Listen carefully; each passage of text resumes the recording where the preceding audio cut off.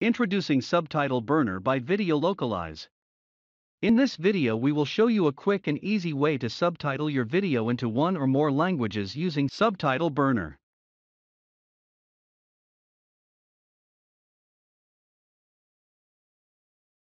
To get started, all you need is your video and its subtitle file. First, go to videolocalize.com. Then, log into your Video Localize account with your username or email address. If you don't have an account yet, register for one now free of charge. After you log in, you will be at the Products tab. You will find Subtitle Burner on the top left corner. Click on the Get Started button. Subtitle Burner gives you full control over how the subtitles are displayed on your videos. You have the freedom to choose the size, color, and background of the text. With three easy steps, it's very simple to use. The first step is to upload your video.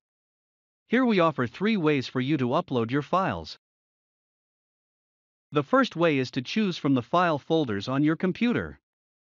Find the video you want to upload and select it, and it will be uploaded automatically or you can simply drag and drop the file over here. The second method allows you to use an existing video that you've previously uploaded to Subtitle Burner. In the drop-down menu is a list of all the videos already uploaded. Choose the video you want by clicking on it. And for the last method, you can copy a YouTube link or any other direct URL link from the internet and paste the link over here.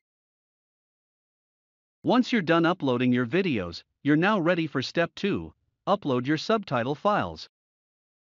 Subtitle files are usually SRT files or VTT files with time codes. You can choose one subtitle file or multiple subtitle files at the same time.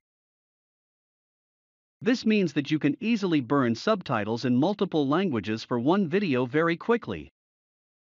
After you finish uploading your video and your subtitle files, you can start customizing the style of the subtitle text. Here we offer six styles of customization. The first one is the color of the text. There are two color options, white or yellow. The preview window to the right lets you see what the subtitles will look like based on your choice for each style. And the second style is the font type. Here is the list of the fonts that we currently support. Next is the font size. There are many font sizes available and three font size numbers are labeled small, medium and large for your reference. And the fourth style, you can customize its margin. What margin means here is the distance between the subtitles and the bottom of the video. You can decide how close or far from the bottom the text should be. The fifth subtitle style is the background of the text. As you can see, we have three types of backgrounds for you to choose from. The first one is actually an outline. What outline refers to here is the black line that encircles the text. If you choose opaque box, you will get a black background behind the text. This makes the text stand out more, but will totally obscure what's behind the text. Choosing transparent still gives you a dark background behind the text, but you will be able to see through it a little bit. And the final style is the alignment of the subtitle text. This refers to the position of the subtitles in the video, left, center, or right. We usually keep it in the center.